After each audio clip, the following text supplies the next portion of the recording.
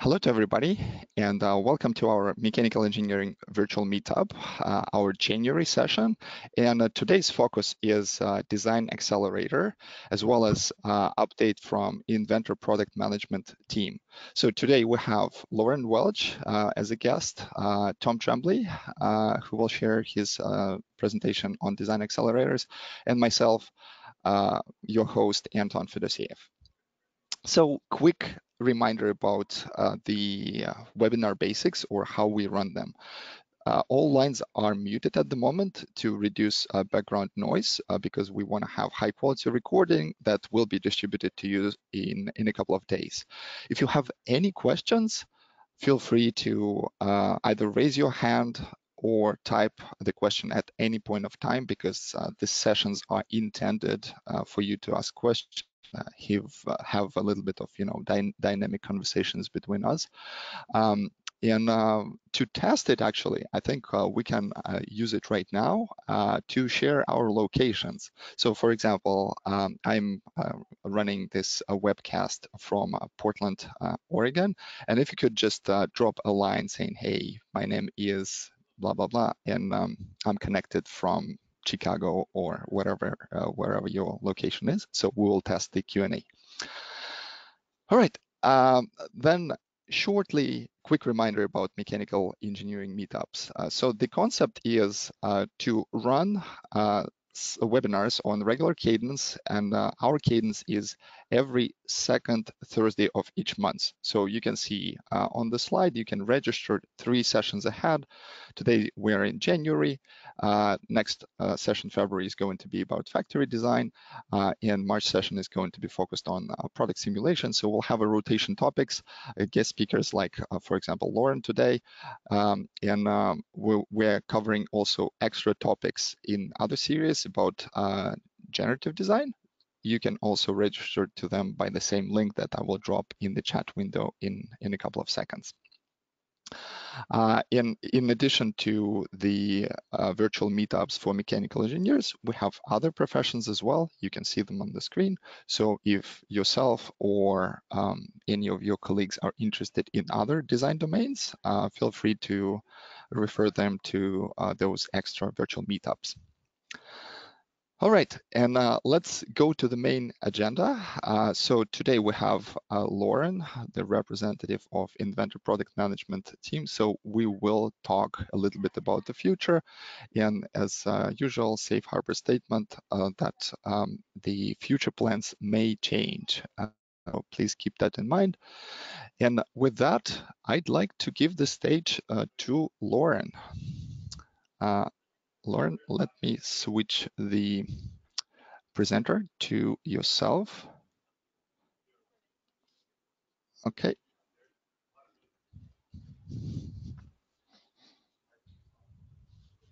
All right, let me know when that comes up for yep. everybody. We can see your screen.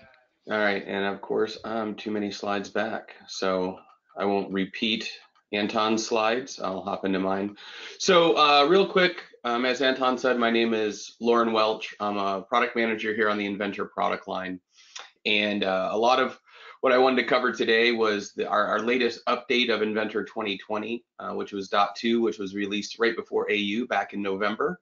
And then um, also talk a little bit about what we're doing um, with the public roadmap and some of the areas we're investing in the product going forward. Um, what I will do is I am going to turn off my camera um, just because I do have a couple videos and I don't want to kill the bandwidth when I'm presenting that. Um, but I'll hop back on the video um, as well. And again, as Anton mentioned, if you have questions, uh, please type them in and, and we can handle those questions as we go through. Um, clearly, I need help with the Q&A because I answered uh, somebody else's location with my location instead of actually typing it in as a question. So getting the, the rust knocked off as we start the year, I guess. So that being said, um, let's go ahead and, and, hop into this. So one of the things, um, hopefully you've heard about, and hopefully you've been a part of this for for many of these years. I know I know Tom has been a part of every 20 plus uh, for Inventor, and uh, we're we're really proud of the fact that Inventor is reached a, a milestone of 20 years in the market um, as of last September and it, it really has been a customer driven and customer focused uh, process and we look forward to a, another 20 years of, of customer-driven enhancements and, and delight. When we talk specifically about what we've done with uh, the dot updates uh, for 2020.2, one of the things I, I, really like to talk about is, is where, where we drive those enhancements from. So a lot of them come from our engagement in, in customer success team and, and, other projects we're working on. So one of the things you'll you'll see is we have this um, the inventor ideas page, the forums, the feedback community, um, as well as direct customer engagement. And we've revived this idea of what we call JDI or, or just do it. So there's been a lot of things where we've been meeting with customers or we get feedback and we're like, you know what, that's something doesn't take that long to do. A, de a developer too can knock that out in a, in a couple weeks. We should just do it. And so we've revived a lot of that that mentality of, uh, of just do it on customer feedback. And I and hopefully you see a lot of that um, with what's happening um, in the product with the updates. So we'll walk through, again, this is not inclusive. Um, if, if you wanna see every single update for 2020.2, I encourage you to go to the online help file um, and, and I can make sure we have that link available as well, um, just to see every, every detail of the enhancements and, and, and also any fixes we put in the release. So one of the things we did is we found out um, but not found out, but one of the things we, we know from our, our customers is that about 40% of Inventor customers also have um, or use AutoCAD in some way, shape, or form. And so making sure that we can smoothly move that, that DWG data inside of Inventor to continue the design process, whether it's on legacy data or, or data you're getting from vendors or suppliers is, is really important. So we've we've continued to add and streamline the functionality of the, the DWG workflows um, into Inventor. And we, we've added some nice prompts and workflow enhancements for 2020.2. For import export, um, again, um, the AnyCAD and import export workflows that we, we've had in place for, for many, many years. Um, we added JT support um, some time ago, but with the add with the continued adoption of, of 3D annotations and, and MBD information, we've now added the graphical support of, M, of PMI for JT, both import and export. So if you're using the MBD or 3D annotation environment in Inventor, or if your vendors and suppliers are using it in a different CAD system, um, using JT, they can now move that data um, in and out of Inventor um, in a very uh, direct and nice way with just the file open.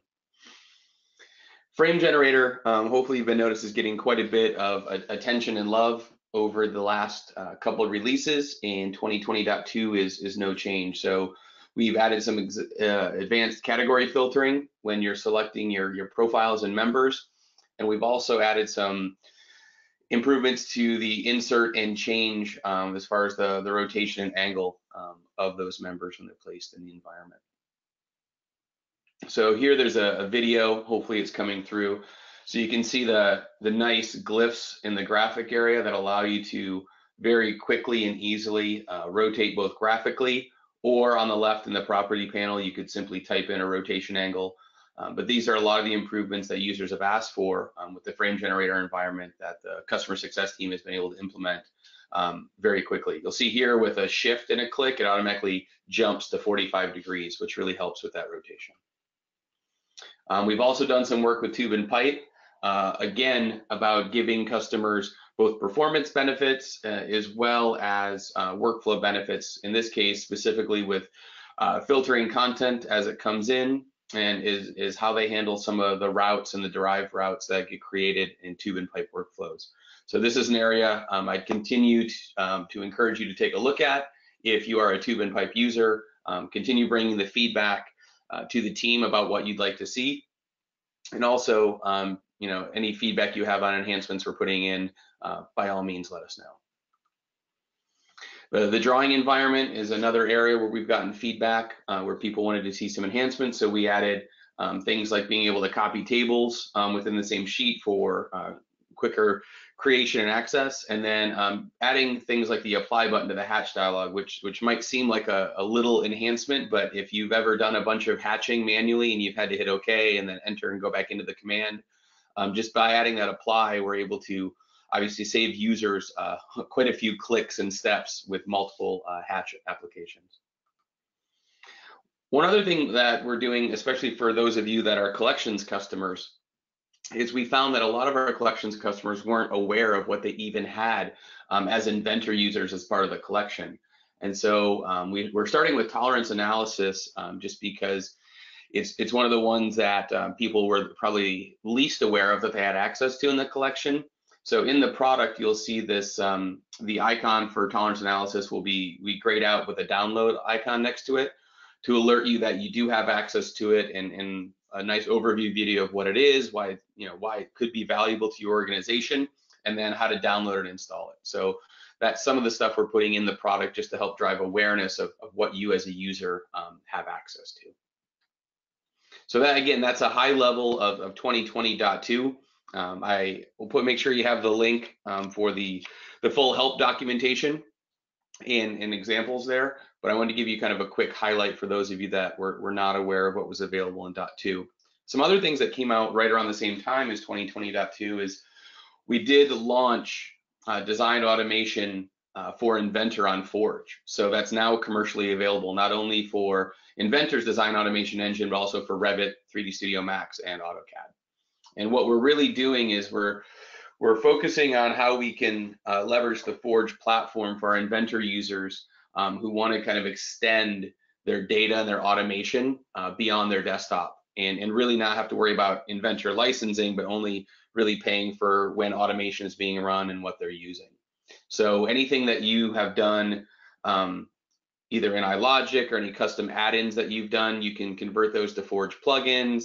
Um, you can leverage the existing APIs and you can run those in a, in a headless cloud environment, whether you're doing uh, engineering automation, sales configuration, um, extending your iLogic um, models, or you're doing some more of these um, import-export um, operations, custom interoperability between um, different products, both inside and outside of Autodesk.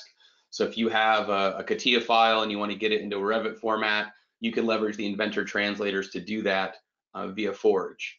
Um, you can automate obviously drawing creation, bill of material extraction, and then more of kind of the um, the bulk operations where you want to do a lot of things that maybe are job processor type of, of workout works um, and do that all via via Forge and the design automation APIs on Inventor. So if you go to forge.autodesk.com um, and look at the design automation links, uh, there's a ton of documentation um, around that, and it's it's something that if you are interested, by all means, uh, reach out and and we'll be as helpful as possible.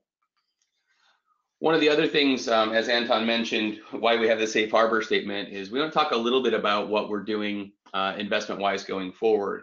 And so we do have a, a, public roadmap that we publish during AU.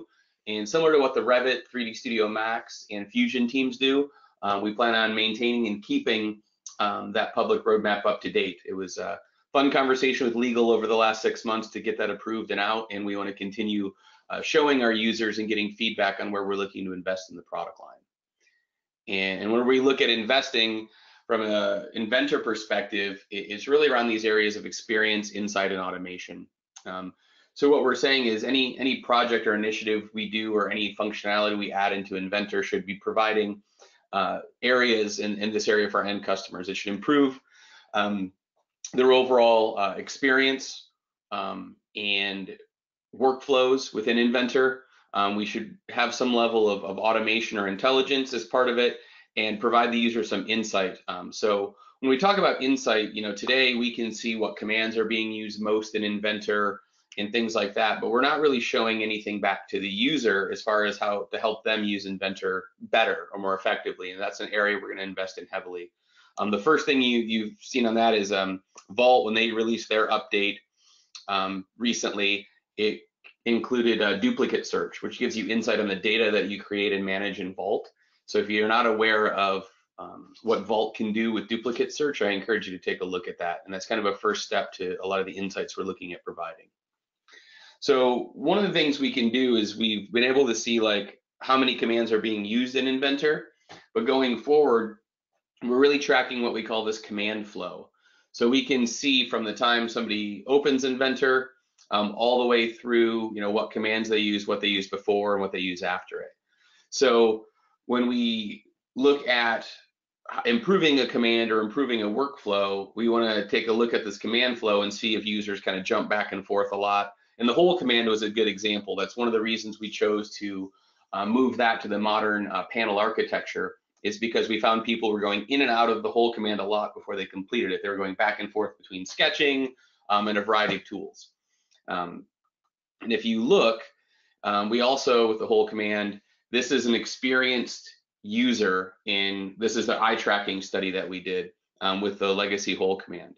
Um, you can see with the new hole command, that panel, we reorganized it so it's very concise. The user has a very good focus of as they complete um, a task or they fill out information, they move down uh, the panel dialog and then they complete the command. So what this ends up doing for our users is if you look at the, the graphs there, um, with the legacy hole command, um, inexperienced users is that that tall bar on the on the left. So the you know new users to Inventor, it took them you know almost 10 minutes to create you know a, a simple plate with four holes because of some of the confusion of the hole command as far as where to start, what to click, do they have to do a sketch first or not? Um, and experienced users could do it pretty pretty quickly. The thing that's really compelling is if you look on the right, that those two bars there, that taller bar, the green one there, is the inexperienced users. So with the new panel, a new user to Inventor was more efficient than an experienced user on the old hole command. And these are the types of things we want to bring to our users from a, a productivity standpoint when we look at refreshing any command. Uh, we certainly don't want to make a command or make Inventor look different just to make it look different. Um, I think that would just upset everybody. But these are the things that we're tracking uh, in looking at going forward as we continue to enhance um, and move, add, add, new commands and, and enhance existing commands. Um, with 2020, we had this light theme, which uh, for the most part, I would say has been really positive. I think the the only negative uh, feedback we've gotten from from you users is that you want a dark theme as well. Um, so if you are part of the feedback community or if you're at AAU, you might have seen this, but one of the things that is well in the works is um, be able to switch to a, a dark theme. And what this means is not just that you know we, we changed a few colors. It's it's a complete theme inside of inventor. So all of your your canvas your ribbon your browser your toolbars um, any of your right click menus all had to adapt to this environment. So it's it's very comprehensive. Um, we didn't want to put anything out there that was kind of half baked um, and we're looking for additional feedback as we start rolling this out on are there things that um, are not what users expected? Are there things that we need to improve? But one of the things you'll see going forward is, is obviously these, these light themes, these dark themes are uh, common across Autodesk products. So um, AutoCAD, Inventor, Revit, etc., um, are all adopting these same color schemes and, and, iconology. So for those of you that use multiple Autodesk products, it will be a, a, consistent experience across the board. Um, some other things we're working on is, is how our products work uh, between each other. So Inventor has been able to read in RVT files uh, for some time and also been able to write out RFAs um, or IFC files. So those of you that are in this environment where you have to work with um, engineering firms or back and forth with the AEC environment, uh, one of the first things we're doing is how can we get Revit data into Inventor better? So if you're familiar with our AnyCAD workflows um, with with file formats like Solid Edge, SolidWorks, CATIA, Creo, uh, Wildfire, uh, NX, etc. You know, we're able to bring those files in natively and they update associatively as if they're native Inventor files. So it only makes sense that when we added the AnyCAD for Fusion, it works the same way. And we want to do the same thing with AnyCAD for Revit. So you can bring in a Revit file uh, much more intelligently with advanced kind of filtering to focus on just the area that you need to work on as an Inventor user but if the Revit user updates that that uh, that Revit file, you can pull that update into Inventor associatively. Um, we're also continuing to focus on performance. I, I think that's something as users, um, you know, the, the more uh, we improve performance, the bigger, more nasty assemblies you guys throw at it, which is is awesome. Uh, we had a user in Europe um, actually a couple months ago opened a 1.2 million uh, component assembly. Um, our average assembly files in Inventor are getting bigger and bigger, and we see users working on 400,000 plus component assemblies on a regular basis now. So we know we have to continue improving and continue working on performance to, to let you guys push um, your designs um, through the process even, even more so an Inventor. And uh, there's a lot more we're working on, obviously. Um, I would encourage you to get involved and stay informed. So I've added these links in here. So obviously the feedback community is our alpha and beta site where you can test a lot of these projects that I just uh, showed you that aren't quite released yet. And you can provide feedback directly to the develop development teams that are working on it. Um, obviously the inventor ideas and general forums are a great place for you to, to put your ideas up, interact with other users, and also interact with the inventor development team.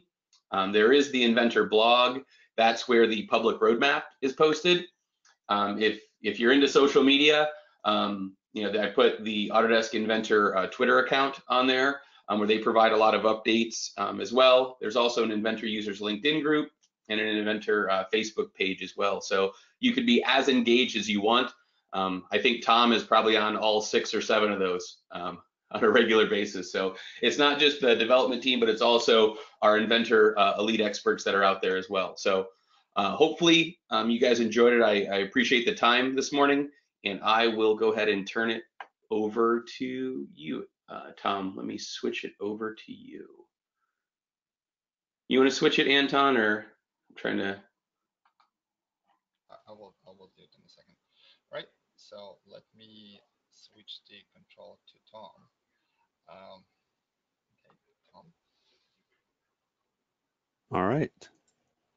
Yeah, quick um, reminder or to give you context about like uh, uh, what, what what was happening a while ago. A couple of months ago, Tom already presented in this uh, virtual meetup with a very interesting topic, a productive uh, mechanical design in 2D environment when we spoke about design accelerators, gear generators, shaft generators in AutoCAD mechanical, right?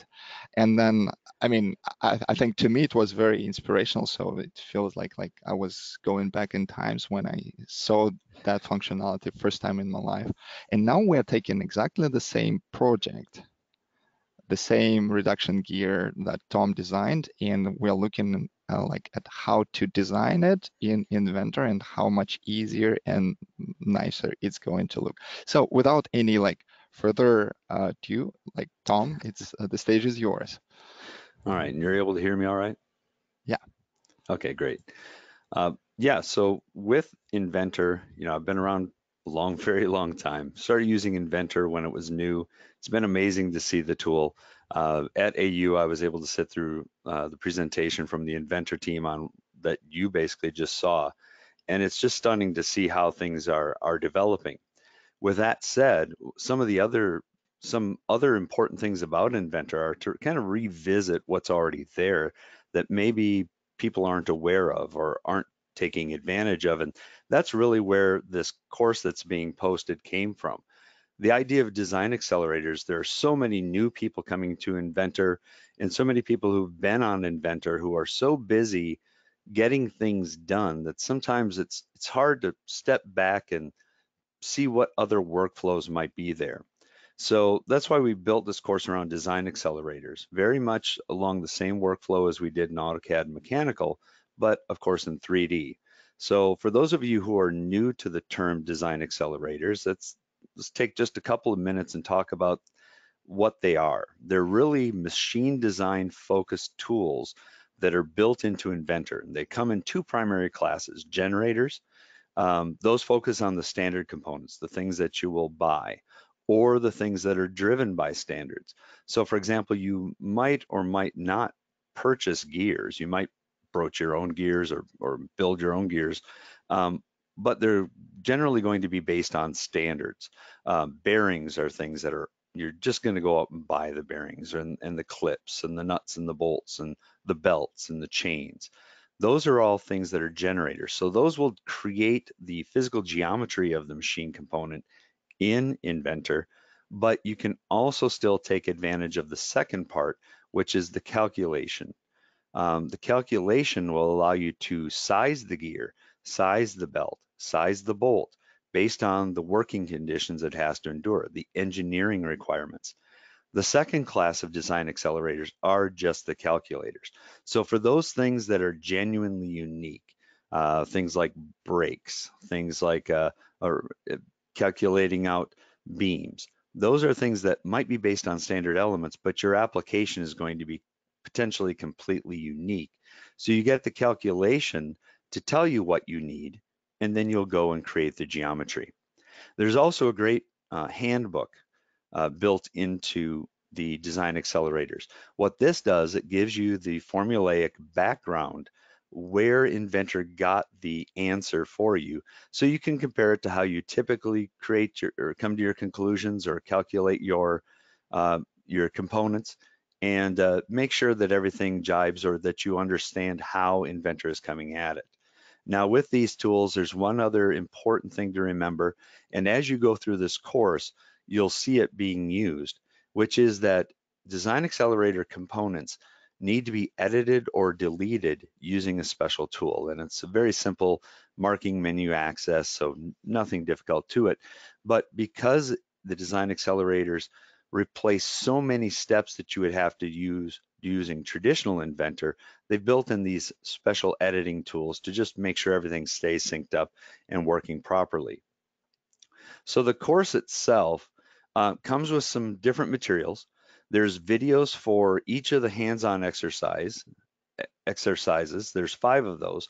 Plus there's two additional videos. One gives you kind of an overview of what design accelerators are.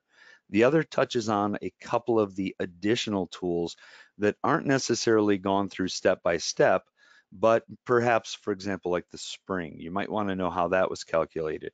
It helps remind you how to access that. Each one of these videos, the step-by-step -step instructions and the data sets for them come separated.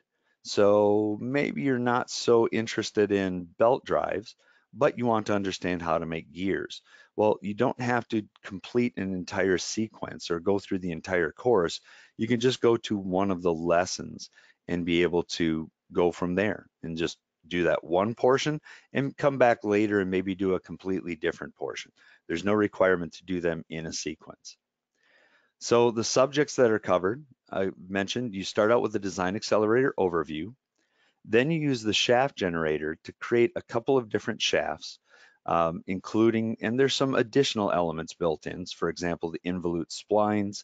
Then there's the gear generator, but you also go ahead and add bearings to the, the shafts in that process. The belt and chain generator, the bolted connection generator, and then the frame generator. And the frame generator, as Lauren was showing you just a little bit ago, is really getting much easier to use. And with the addition of tools like reuse uh, is really getting very friendly for bill of materials. So for those of you who might have used Frame Generator years ago and found, you know, maybe it wasn't fitting quite into your workflow when it comes to your bill of materials, come back and revisit Frame Generator. Not only is it easier to use, uh, it, it's really gone undergone some nice structural changes as well. And then there's the additional tools I mentioned. When it comes to the content itself, the hands-on materials are just going to be in PDF format, so you can print them out, put them on your screen, follow along. And of course, you have the videos themselves, which if you're more a visual learner like I am, you can just simply watch the videos. It will guide you through the process, pause them, rewind them, do whatever you need to do, and it will take you through that process. I'm actually going to turn my volume down a little bit and you'll see that it's just going to walk through the process, take you through the dialog boxes. We get into a little bit of discussion on what the various elements are, but it's just a, a quick way to, to pick up a new set of tools, a new set of skills, and of course, you want to share them with any coworkers or, or people that you know who might also be doing machine design. So help their productivity as well. Uh, finally, on the concept of design accelerators, I also want to show you a little overview of what else is available. In italics are the items that are covered in the course, which there are quite a few of those, but there are also tons and tons of other tools. All the pins, um, additional tools within frame generator we didn't get into, um, some of the power transmission tools, including the uh, calculators that aren't uh, gone into in, as in depth. But one thing about design accelerators, as Lauren referred to as well, is a lot of work has gone into trying to make dialogues um, more consistent, the workflows consistent, so that if you go through the shaft generator or the spur gear generator, but maybe you use more worm gears or bevel gears, you'll notice a lot of the same visual cues. You'll notice this, the consistency in the dialogue layout, which will make it very easy for you, especially since you know what you make, to be able to pick up the information, figure out what information is needed for you to generate the machine components that you need for your designs. So hope that you'll take some time. Um, I think Anton will be sharing some information either today or in upcoming uh, posts about how to access the course. Hope you'll take the time to uh, to try it out and, and let us know what you think. Anton, do you want to? Yeah, thank you so much, Tom. Thank you so much for sharing. And I will uh, demonstrate uh, the course live and exactly how you you can access it right now. But before that, I wanted to ask Lauren, uh, Lauren, like, do you remember your first experience with uh, design accelerators or like uh, with similar type of features when you you know designed everything manually and then you you know you you discovered it? So what what did you feel back then? yeah, I think the biggest thing with design accelerators, I feel like they're the best kept secret in Inventor, to be quite honest. Um, it's one of those things where you know, the last 12, 13 years when I've worked with customers that have been on Inventor for many of the 20 years we've been in existence, I bring up I bring up things like the design accelerators and they don't even know they exist. And so I, the stuff, you know, this kind of thing that Tom's doing, I think is amazing because the calculators, especially the weld calculator is probably the one I've probably used the most because you know, it's basically replacing that engineer's handbook we all have sitting on our desk or on a bookshelf somewhere, right? Where if I want to go in and I need to calculate uh, different things, you know, before I start designing, you know, like the, the shaft and the pin generator are super helpful. But yeah, the weld bead one is the one I use all the time. Like what I'm not, I'm not a fabrication guy. I'm not a weld guy. So when I'm doing something, I want to make sure I'm specifying the, the right weld strength for what I'm designing. And I found that's that's been awesome because you've got the beam calculator right in there. You put your, you know, your your weld beads in size and everything, and I don't know, that's the one I that always sticks out in my mind. Yeah, and uh, you know, I, I wanted to turn it uh, to our audience as well a little bit. If you have any stories or like your learnings about design accelerators, uh, let us know. Or if you were not aware about them at all, also please let us know. Out of curiosity, it would be great for us to know. Um, just uh, use the Q&A uh, window to do that. Uh, well, my story was, I think I, I, shared it last time, but it was also pretty uh, interesting because I was working on my big design, like it was like a big machine gearbox, and um, then everything went really well. And then my manager asked me to change what I was uh, working on. And then this is where the problem started because I realized that it will take me, you know, the same amount of time as I did it originally to change it. And then I started looking for a solution, and this is how I found, you know, uh, design accelerators. Yeah. Um, okay, uh, can you see my screen? Um, yes. Um, the web browser. Okay, excellent. So this is the learning platform that we provide uh, to all of our customers, right? And in order to access it, you need to use your Autodesk ID. It's exactly the same account that uh, you use uh, to, uh, you know, to access your subscription and your products. And uh, we split it by design disciplines, right? You can see several design disciplines uh, here, and a lot of them are in AEC space.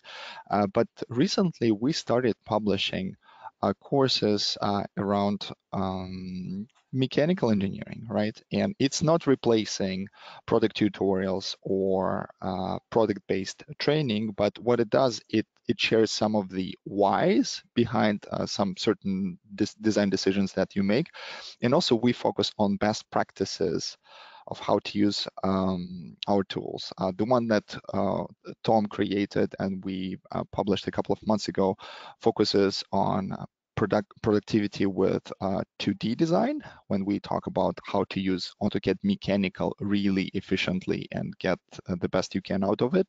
We have two courses there. And then the one that we covered today is uh, mechanical design with intent, uh, where we cover not only, you know, design generators, but also some of the calculations associated with them. Uh, so in order to access this, you just sign in uh, with your Autodesk ID. Um, here we are. It automatically picked it up uh, for myself. And then I, I start the course. And then this is where I can see the introduction. I can download the, the files um, and uh, obviously I can go ahead and complete the course, watch all the videos um, and um, uh, as a result, you get the knowledge and also the skill because we provide you not only the videos, but also the, the exercises so you can build the muscle almost um, at the same time. So uh, with that, um, I think I'd like to uh, start wrapping it up and getting closer to our questions uh, section. Um, so a quick uh, recap. So we have uh, this uh, course about AutoCAD Mechanical, and I will post the link um, to the chat so you can uh, access it. Then uh, the one in works that focuses on successful, not only like transition from 2D to 3D, but also how to reuse your existing 2D data efficiently in 3D. And specifically, we will talk about what data is use, useful and what are the three workflows that you can uh, use to associatively import your uh, legacy DWG data and also back. So how can you use um, your 3D data back in AutoCAD? Uh, and finally, this course that focuses more on, you know, best practices of 3D design. So you, you can see logical sequence, effective 2D, transition, and then um, uh, nice 3D design with uh, intent. I will post the links um, in a second. Well, and uh, um, let's uh, jump into uh, questions. So let's see if we have any questions.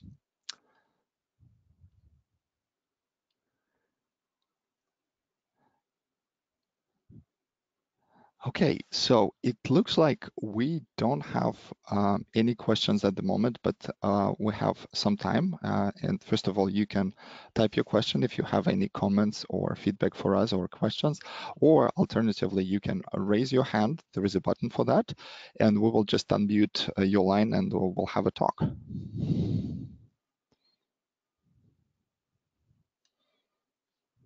Okay, so let me share this um, links, the ones that I mentioned with uh, all of you.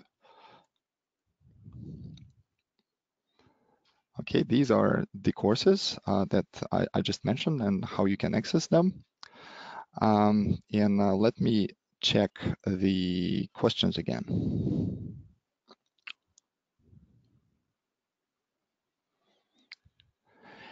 It looks like we do not have any, uh, so we will wrap the session up uh, and uh, you will receive the recording of uh, this session with the links uh, to the courses and registration link to the next uh, meetup thank you for joining us today. Huge thanks to Lauren and um, uh, Tom for their presentations.